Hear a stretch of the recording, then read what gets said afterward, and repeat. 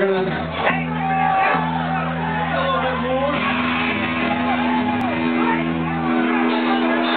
Really appreciate everybody coming out to this show.